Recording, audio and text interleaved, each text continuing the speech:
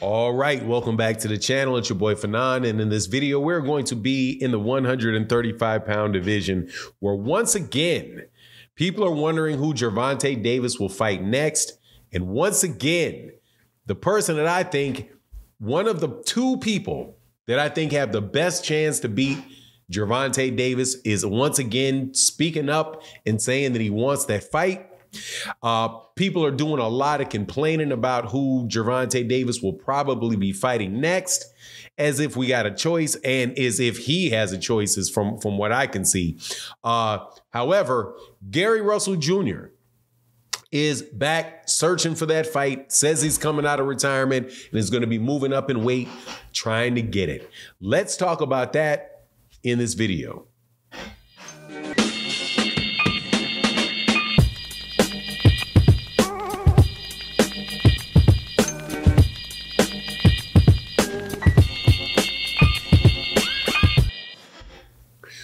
Right, welcome back to the channel. It's your boy Fannon, and in this video, we're going to be in the 135 pound division where uh, Gervonta Tank Davis should be making a decision relatively soon about who it is that he is going to fight next.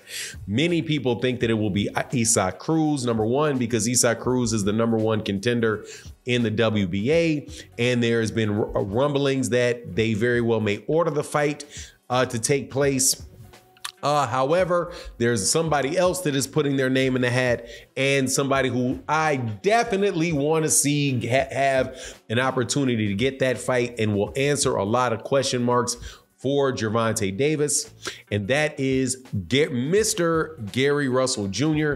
Now, before I get into that, though, let me welcome you back to the channel. If you are new to the channel, please accept my invitation to hit the subscribe button, hit the bell icon so you can be notified of when we release more videos. And if you are a longtime subscriber and supporter of the channel, thank you so much for continuing to do so. But let's talk about it, man, because look, um, there is uh, a lot going on in the 135 pound division, uh, but really, it for every practical in every practical sense, there's really no king to that division, and people will say no, the, the king of that division is Devin Haney because Devin Haney holds three of the four belts.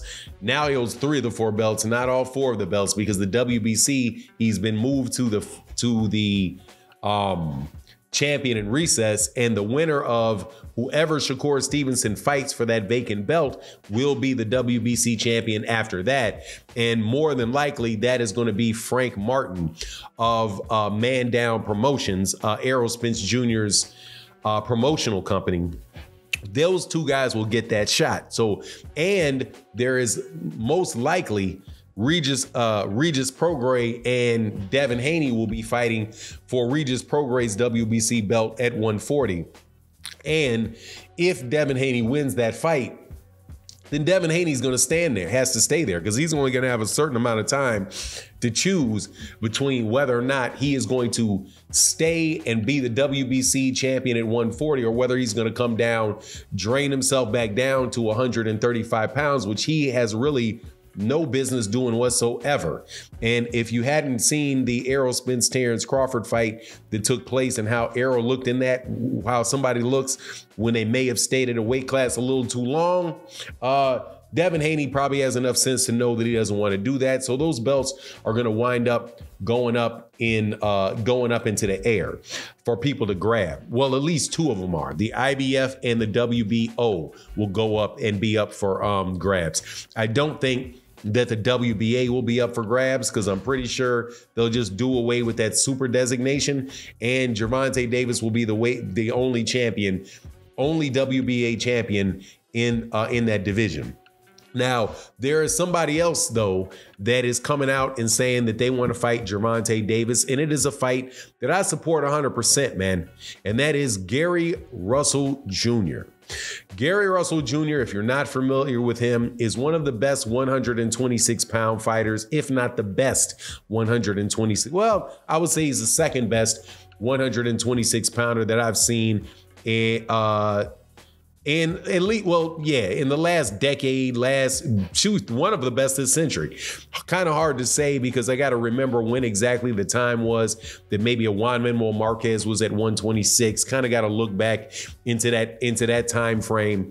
Um however man i know manny pacquiao was at 126 but i think he may have been 126 in the late in the late 90s. Not quite, can't quite recall that time frame. But Gary Russell Jr. is most definitely one of the best uh, featherweights that we've seen this century.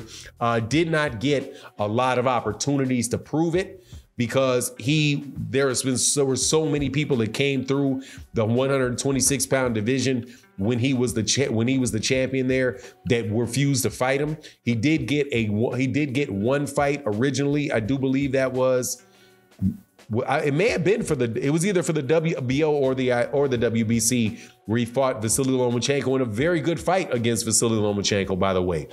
Very good fight against Lomachenko at 126. I think Lomachenko won that fight, but uh, he wasn't, let me put it this way, uh, and uh, Vasily Lomachenko wasn't matrix, matrixing all over the place. And Vasily Lomachenko moved up to 135 and had success and easier fights at 135 than he had with Gary Russell Jr. at 120 at 126. So if Gary Russell Jr. wants to move up, he's definitely not going to go back to 126. Wants to go up to 135 pounds. Look, man, in my book, he hasn't lost a fight since he lost to Vasily Lomachenko. The fight that he where he lost his championship against Marcus Mark Magsayo, to me was I thought that was a robbery. And that he had lost that basically he had beat Mark Magsayo with one hand.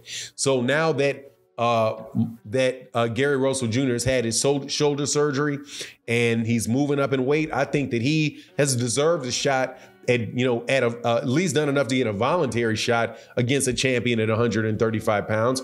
I can tell you all kind of people, all kind of people that had the ability, you know, who who basically got that off of um, the accolades that they've had in fights, even if he's coming off of a loss. Now, I and again, I don't really consider that a loss. I consider the more significant thing the fact that he that he came off of an that he came off of an injury, but. I think from the from all kind of different perspectives, this is a good fight to this is a good fight to make. Now, Gary Russell Jr. may not be. Um, people will say, "Well, no, I want to see the Shakur Stevenson fight, obvious, or the or the Frank Martin fight for Gervonta Davis, or the Devin Haney fight for Gervonta Davis." I believe um, I believe all of those all of those things are good things that can take place and if they if you were to say those fights should take place before Gary Russell Jr that's fine. I don't have a problem with it. However, if you just like I said in the beginning of the video, uh, those options, those options are not uh, at this moment in time are not there for Gervonta Davis. The the options for Gervonta Davis are uh, Isaac Cruz uh, and Isaac Cruz, which people are complaining about. Then you have uh, uh, Edwin DeSantos and uh, him and then probably, but everybody else is over there at ESPN. I mean, like Keyshawn Davis and and oh, a guy on the zone like Andy Cruz, who just had his first professional fight, professional fight, they're not really in the mix right now. But as far as Gary Russell Jr. saying he wants to do it, man, I would support and love to see that fight. From a monetary sense, the fight, I suspect that that fight would do very well. But one of the most important things to keep in mind about um, Gary Russell Jr. is man. Gary Russell Jr. is one heck of a fighter, man. All of this, this, this blasting that people have done on him about his inactivity and all of this and all of that, people can really do miss how excellent a fighter that guy is, man. He can do everything in the ring, man. Fast, great defense, very effective aggression, ring generalship, clean and effective punching, all every, all scoring criteria he's got it in spades. And I think Gary Russell Jr. is most definitely one of the most underrated fighters of this century. But anyway, that's my take on the matter.